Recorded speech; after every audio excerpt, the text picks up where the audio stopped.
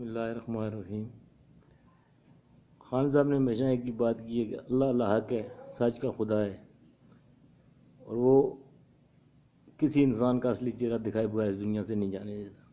कल आपने देखा चौधरी निसार साहब ने प्रेस कॉन्फ्रेंस की, नून लीग के और पीपल पार्टी के, मुख मुका का भांडा फोड़ दिया सारा। तो चौधरी निसार साहब, जो कुछ हो रहा है, सब कुछ आपके नीचे हो रहा है। आपको जब पता है कि दोनों ने आपस में मुकमका किया हुआ है तो आप ऐसे लोगों को इतने अरसे से क्यों सपोर्ट कर रहे हो? आपको सब पता है मॉडल टाउन में क्या हुआ? मुल्तान में तरीके इंसाफ के जलसे में कैसे लाइटें ऑफ़ हो गई एकदम। वहाँ पे लोग मरे। फिर इस्लामाबाद में मेट्रो बनी, आपके नीचे बनी। आपको सब पता है कैसे अनिफाबाजी ने करप्शन की, इतना पैसा उसने करप्शन किया। तो सब चीज़ें आपको पता होने के बावजूद आप ऐसे लोगों को सपोर्ट कर रहे हैं।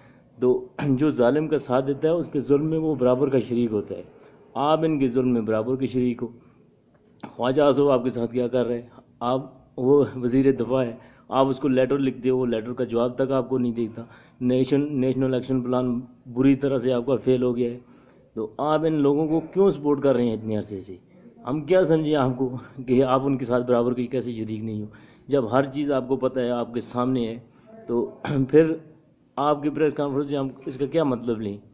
या तो ऐसे लोगों को सपोर्ट करना छोड़ दो। एक आदमी को पता है कि ये बंदा चोर है, फिर आप उसके साथ मिले हुए हो, उसका साथ दे रहे हो तो आप भी तो चोर ही हुए। इस वजह से सारी चीज़ें आपके जो नीचे हैं हो रही हैं। खुर्शीद शाह का आप बोल रहे हो, वो एक मीटर रीडर था, उससे आप अपोजिशन लीडर बन गया वो आज। गरीब का बच्चा पीएचडी भी कर ले तो वो असम्बली में नहीं जा सकते। वो मीटर रीडर क्यों बन गया? बदमाश है, गुंडा है, पैसा है, उसके पास वो चला गया, उसको सिस्टम सपोर्ट करता है ऐसे आदमी को। गरीब के बच्चे को ये सिस्टम सपोर्ट नहीं कर रहा है। लेकिन आप लोगों की क्यों नहीं कर रहे? आप जैसे लोगों की वजह से। आप लोग इस सिस्टम को सहारा दे रहे हो।